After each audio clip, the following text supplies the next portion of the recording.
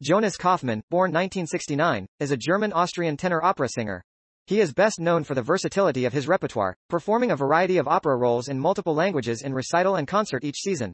Some of his standout roles include Don Jose in Carmen, Cavaradossi in Tosca, Maurizio in Adriana Lecouvreur, Don Alvaro in La Forza del Destino, Siegmund in Die Walküre, and the title roles in Parsifal, Werther, Don Carlos, and Lohengrin. In 2014 the New York Times described Kaufmann as a box office draw, and the most important, versatile tenor of his generation. His first marriage to mezzo-soprano Marguerite Joswig produced three children, and ended in divorce.